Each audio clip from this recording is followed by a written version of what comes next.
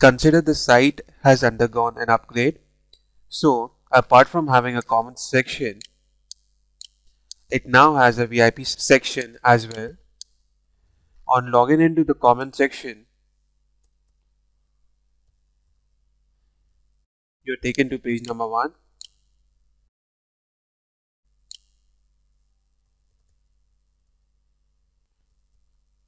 On login into the VIP section, you are taken to page number 2. As an exercise, let's record a script to log in into the common section. In our case, there are two login buttons on screen, one for common, another for VIP, having the same property values, input type equals to button and value equals to login.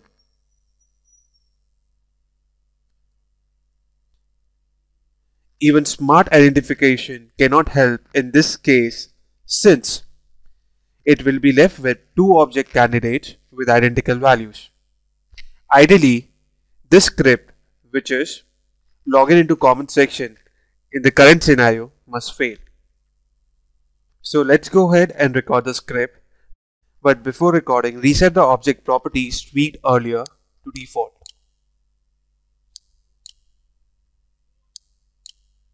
Click the record button.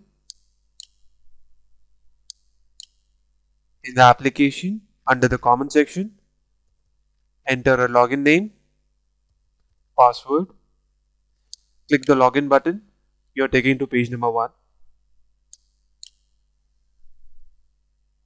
In QTP stop recording.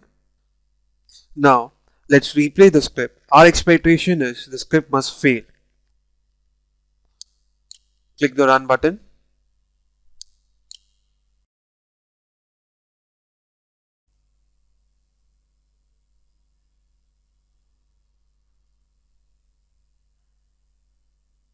What happens? The script actually passes that too without any smart identification. The script must have failed, but it passes. What happens? Well, let's investigate ordinal identifiers come into effect during record session.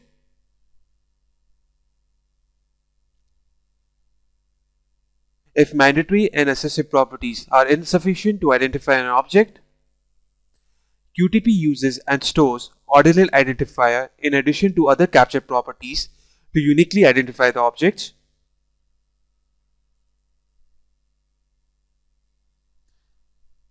There are three types of ordinal identifiers. Index based, location based, creation time. By default, ordinal identifier type is pre-selected for all test objects. You can modify the default ordinal identifier for an object in Object Identification dialog box. Let's look into the three types of ordinal identifiers one by one.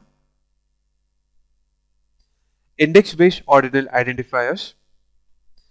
When using index-based ordinal identifiers, QTP will assign a value to index property of an object. The value is based on the order in which the object appears within the source code. The first occurrence has value 0 the default ordinal identifier for a web button is index.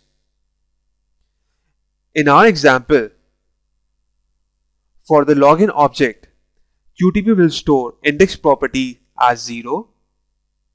Hence the script process successfully.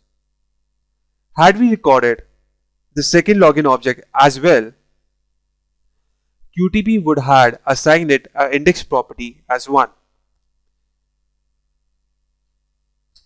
This index properties helps QTP to distinguish between a login web buttons appearing in the common section and the VIP section. Hence the script process successfully. Index property values are object specific. Therefore, if you use index equals to 3 to describe a web edit test object, Quick Test searches for the fourth web edit object on that page.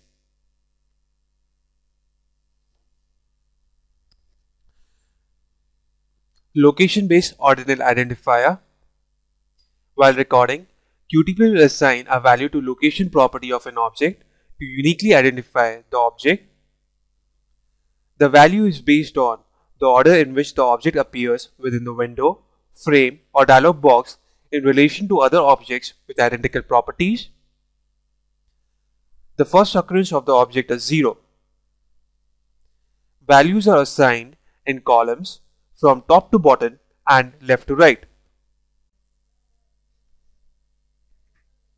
As you can see in this example, identical radio buttons are assigned values top to down and left to right. Creation time ordinal identifier. While recording, QTP will assign a value to creation time property of a web browser. The identifier is only available for the web environment. This value indicates the order in which the browser was opened relative to other open browsers. The first browser that opens while recording receives the value creation time equals to 0 and succeeding browsers are given values 1, 2, 3 and so on.